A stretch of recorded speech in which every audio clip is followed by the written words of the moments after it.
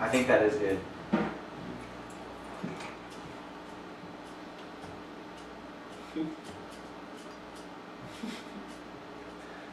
It's so different when you're actually playing it.